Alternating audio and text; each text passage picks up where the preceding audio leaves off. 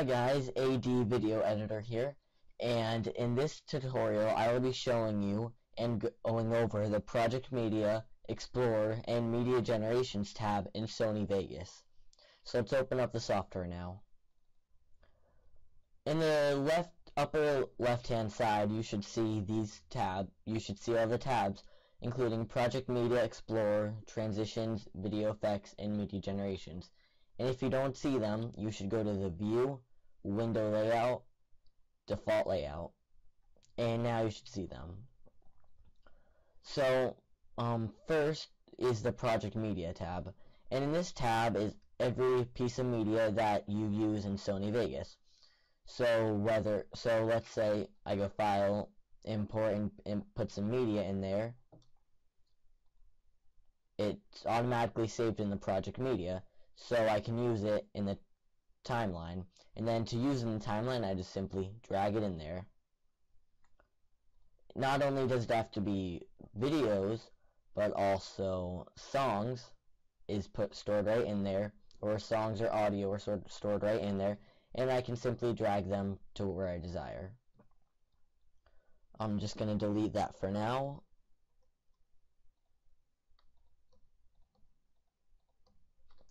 Next is the Explorer tab. And basically, the Explorer here is like any other Explorer in Windows, where you have all your folders, files um, under my computer, and you simply navigate to where it is. Generally, it's under the C drive, users, and then you have you'd have your name. My name's Adam, so it'd be under Adam, and then I'd have all my image, all my um, media, so under documents, music, pictures, videos. And as you can see, I'm just clicking the plus arrow to get in it, or I can also double click it to open it up. And also, as you could probably tell, when I click on a file, or when I double click on a folder, that folder appears in this section here, and you can easily look in it more instead of having just this list. Also, as I showed you in my last tutorial with um, editing the layout, you can simply um, adjust this um, window so um, it's easier for your eyes to see, or if you need more um, space to see something. And lastly, we have the Media Generations tab. In this tab is one you'll be using probably the most. Media Generations, as it says, is just Media Generations. I mean media generators, my bad. And as you see here, I have all these different types of media generators, going from checkerboard, color gradient, credit roll, noise texture, prototype titler, solid color, test pattern, tiles and text, legacy text. And pretty much it's pre it's straightforward that checkerboard is just pretty much a checkerboard um, media generation. So let's say I want to put one of these in. I I'll just drag the default for show.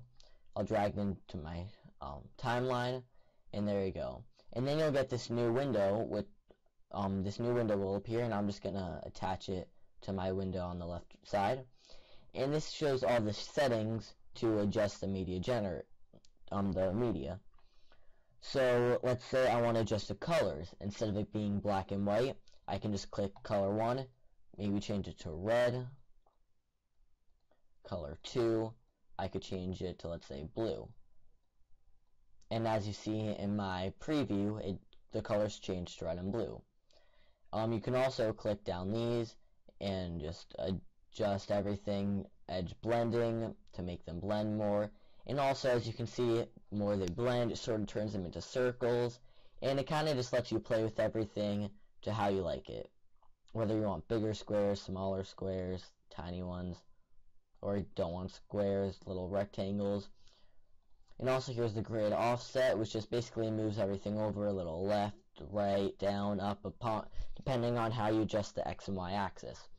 And just a reminder, the X axis is the horizontal, so when you adjust that, your image will move left and right, and the y-axis is vertical, so adjusting that will move up and down.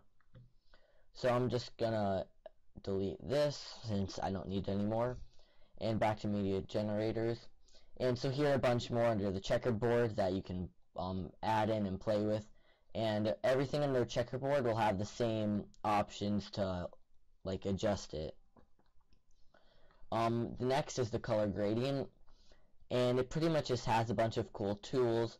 Um, you can go like an actual gradient of white to black, or there's also an elliptical ring, and I'll show you that right now. So basically, um, this is pretty cool if you just want an elliptical or circle of some sort. And if you would move, and as you see here, there are these numbers 1 through 3, and that adjusts each thing on it. So as you see here, I have this faded line in the inside, the actual yellow um, solid line in the middle, then the faded on the outside. And if I adjust these, it sort of adjusts that, you know, bring the faded more, bringing the line in, and adjusting the faded yellow or the feathered at the end. And so you can also adjust the colors. Let's say I want the color 1, I can make that little red.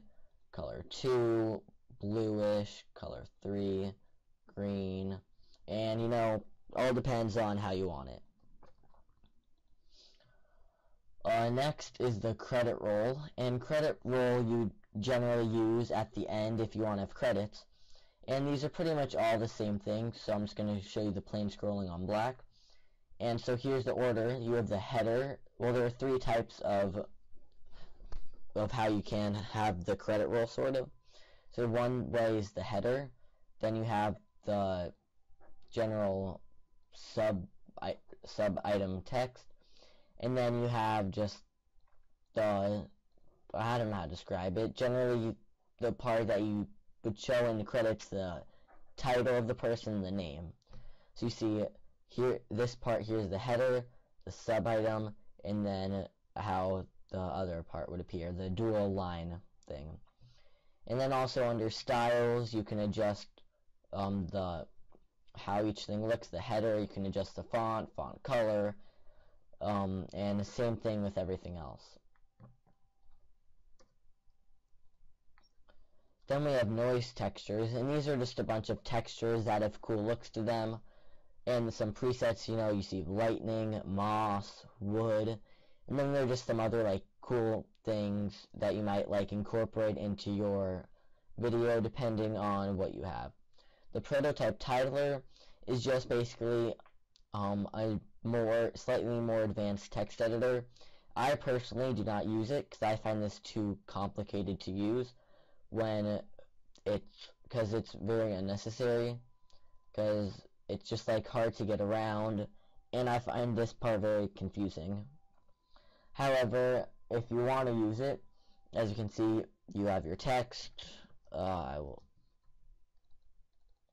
you can select it, adjust what it says, and then your style you can adjust this um, the fill color, whatever, like that.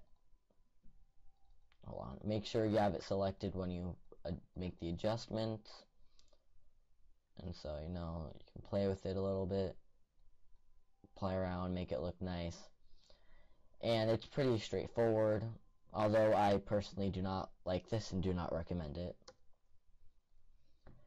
Then you have a solid color which is just basically if you want a random solid color in it. Red get red. Orange get orange. Pretty straightforward. Uh, test pattern is sort of just like those bars you see on like an old TV and just like um, something that you might use if you need it in your video.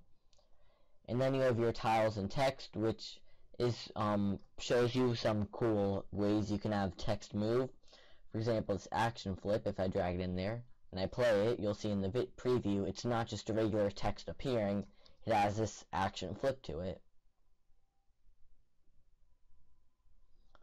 So basically, if you want a text with a little bit more motion, you would use this.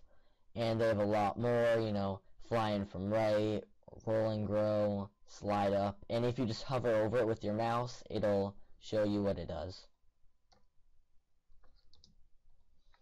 And lastly is legacy text, which just gives you some um, sample text in here with like already preset settings. You know, so here you have blue, outline, and so on. And that's pretty much what um, these three tabs do. I will go over the transitions and video effects tab in my next tutorial. So uh, um, that's it for this tutorial. Please subscribe, please like, please email me with any questions. You can contact me at ad.videoeditor at gmail.com and make sure that dot is a period. Don't actually spell out D-O-T. And I, once again, as I've mentioned, I will respond much faster than how Sony Help would respond to your Sony Vegas question. So once again, thank you for watching, and please um, come back to watch future tutorials.